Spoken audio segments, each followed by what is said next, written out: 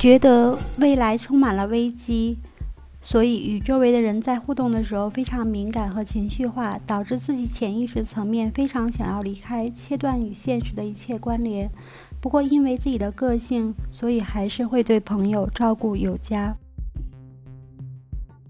位于巨蟹的月亮参与到天明四分钟，与冥王星分别位于 T 三角的两端，带来了伴侣关系的紧张，想要紧紧地抓住情感，但却为自我突破带来了压力。月亮与凯龙形成了和谐的三分相，用包容和关爱对待过去的伤痛，